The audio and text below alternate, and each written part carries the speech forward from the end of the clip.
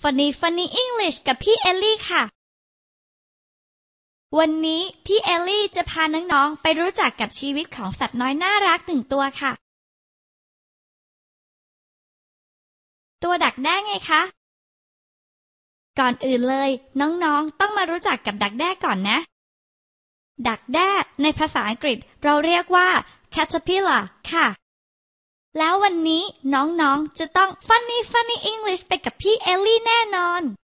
เพราะพี่เอลลี่มีนิทานเกี่ยวกับดักแด้มาเล่าให้ฟัง แต่ก่อนที่จะฟังน้องๆ มารู้จักกับคำศัพท์ ที่น้องๆ จะพบในเรื่องก่อนนะคะอ้อออกเสียงตามพี่เอลลี่ด้วยนะ คำว่า take care take care แปลว่า ระวัง คำว่า hunt hunt แปลว่า ล่า คำว่า pigeon pigeon แปลว่า นกพิราบ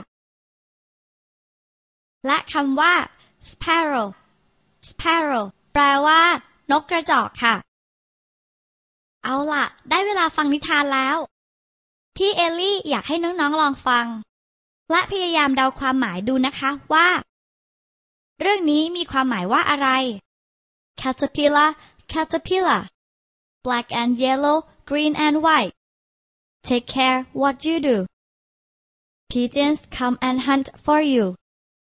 take care what you do sparrows come and hunt for you เรื่องดักแด้จบแล้วค่ะ พอจะแปลได้ไหมเอ่ย มาดูคำแปลที่ถูกต้องกับพี่เอลลี่ดีกว่านะ ว่า ที่น้องๆแปลไว้นั้นถูกต้องบ้างหรือเปล่า เจ้าดักแด้เอ๋ยมีทั้งสีดำและเหลือง มีทั้งสีเขียวและขาว เวลาที่เจ้าจะทำอะไร ให้ระวังตัวเองด้วยนะ นกพิราบทั้งหลายจะถลามาล่าเจ้าไปกิน เวลาที่เจ้าจะทำอะไร ให้ระวังตัวเองด้วยนะ นกกระจอกทั้งหลายจะถลามาล่าเจ้าไปกิน เป็นยังไงบ้างน้องๆ ทั้งหมดนี้เป็นนิทานเรื่องสั้นๆ ง่าย ๆ ที่ทำให้น้องๆ ได้เรียนรู้คำศัพท์ เกี่ยวกับเจ้าดักแด้ของเรา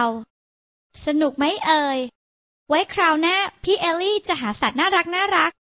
มาให้น้องๆทำความรู้จักกันอีกนะ Goodbye